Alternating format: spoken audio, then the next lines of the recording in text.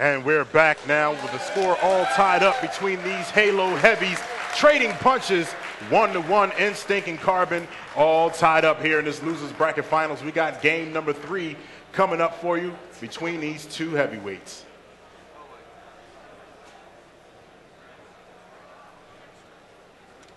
All right, so Carbon feeling loose, Instinct, they're feeling confident going into this game three. It's a game they really enjoy.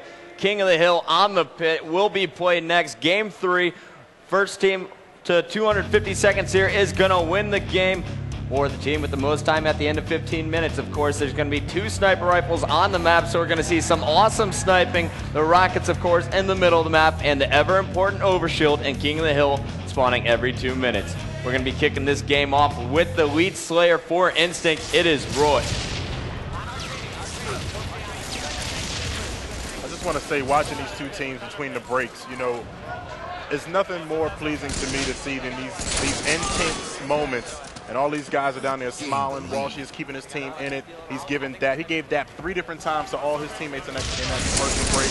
And all the guys on, on Carbon are still just smiling and having a great time out there. This is what Major League Gaming is all about. That's right, Farouk. And of course, Walshy definitely being the cheerleader there, keeping his team in the game. You saw Lunchbox, he was looking down. Lunchbox had a rough game that last round. He went negative 10. He was getting spawn killed. And every time he went up the purple, there was members from Carbon waiting for him to come up the purples. But, you know, Walsh, he's just telling his team, shake it off. Don't worry about it. We got this. And they're going to have to fight strong here because Carbon is playing very well. And they're going to carry a little bit of a swagger, a little bit of momentum after winning that game, too just for those who don't know, DAP is when you pound fists, because I know a lot of our folks out there might not know what that is, but you should because it's a big, it's a popular display. Boom. Come there on, guys. Learn, little, to, learn to be social. A little fist bump. Learn what a DAP is. Right now we got Naded sniping across the map, hit a player in the belly. It's 40 to 2 right now. Carbon off to a huge start there, Sundance. They got the opening killed. They got the overshield. They stopped Walshy down low, and then they were able to pick up a huge chunk of time. But right now, we have Instinct in the hill while all the fighting was going on over Naded Sniper Rifle.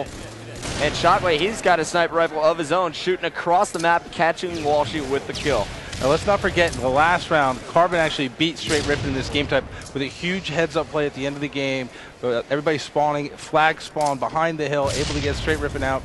Uh, you know, so these guys have just you know had, a, had success on this game type. Uh, Instinct historically is very good at this game type, so it's going to be interesting. I think it's going to come down to just just who gets into a groove and who's able to take this out.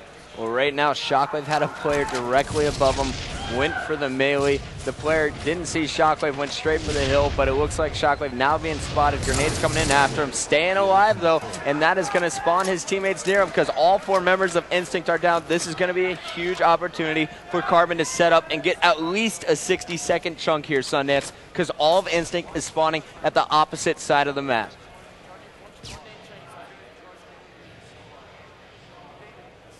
Shockwave right now, he is so focused. He is watching the sword bridge. He saw the sniper trails coming and he waited just perfectly waiting for Soviet. But over here on the other side of the map, Soviet was the distraction because they sent Lunchbox, Roy, and Walshy all through the dark hallway. And Roy was able to get up behind Naded, who is on top of that snipe tower, and take him down.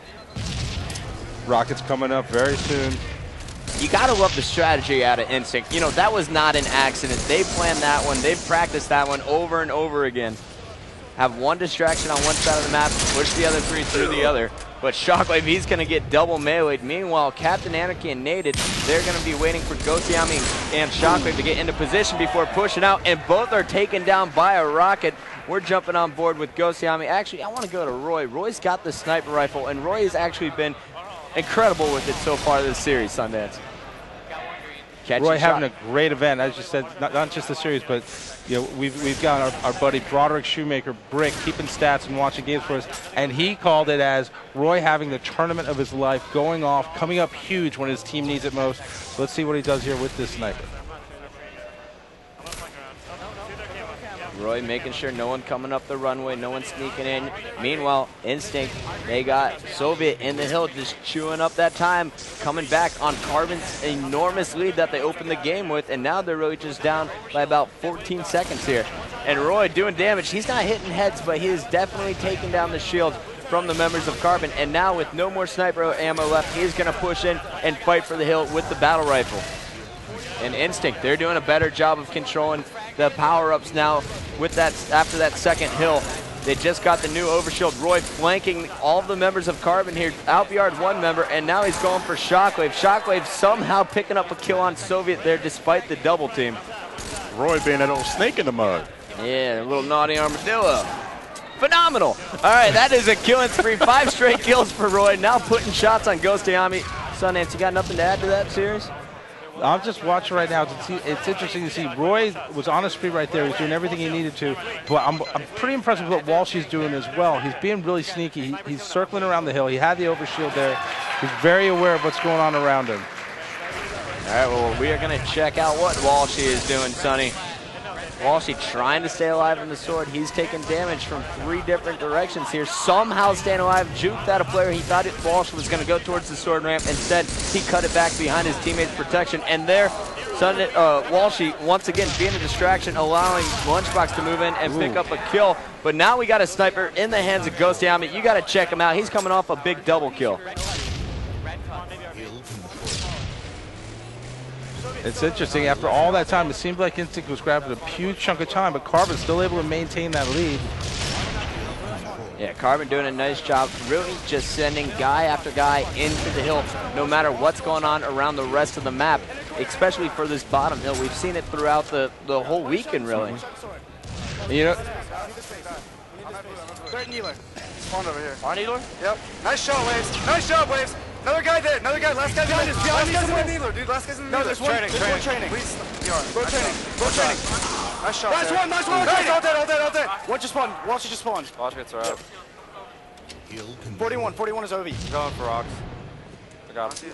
They, they, One shot, one shot, one shot green. One shot on green, one shot. Overshield's our chain. one shot green. One shot green. Our chain with overshield. One shot, green. Got him. No shields. No shields. One shot. He's one No shot. shields and overshield.